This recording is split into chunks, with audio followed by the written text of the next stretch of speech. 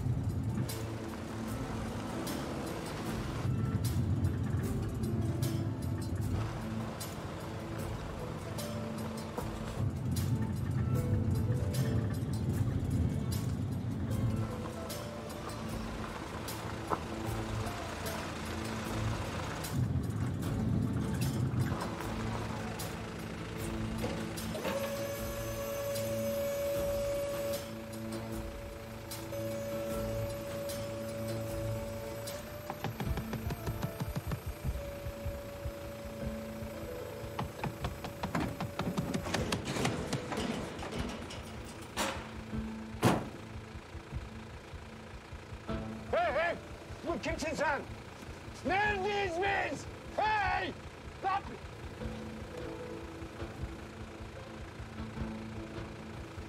Allah kahretsin! Dur gitme, gitme! Gitme, para veririm! Ne aldıysan iki katını, üç katını! Allah kahretsin! Allah kahretsin! Allah kahretsin! Allah kahretsin!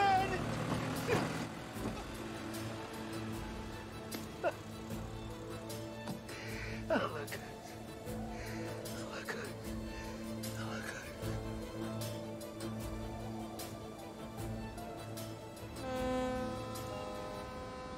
Bu ailenin giydiği kıyafetleri nereden aldığını bulduk Burak'ın.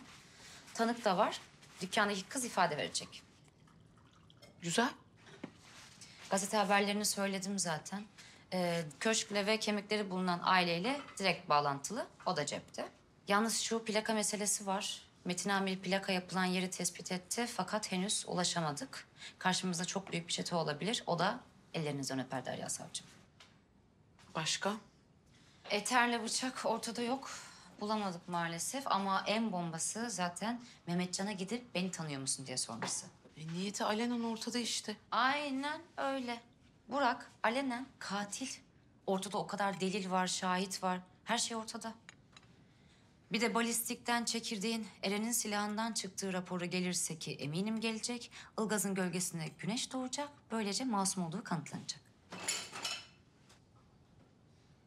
Sen biraz gerginsin.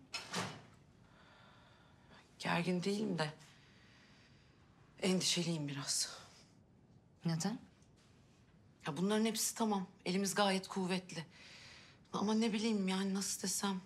Böyle dipsiz bir kuyunun içine çekilecekmiş gibi her şey. Öyle hissediyorum. Ne bileyim hukuka aykırı toplanmış gibi. Ya boşa kürek çekiyormuşuz gibi hissediyorum ve bunun önüne geçemiyorum. Ya Buna izin veremeyiz Derya. Sevdiğimiz adamların hayatı söz konusu. Onca emekleri, onurları, her şey bu dosyada. Sonuna kadar savaşacağız. Ama önce ne yapacağız? Umudumuzu kaybetmeyeceğiz. Haklısın. Ilgaz arıyor.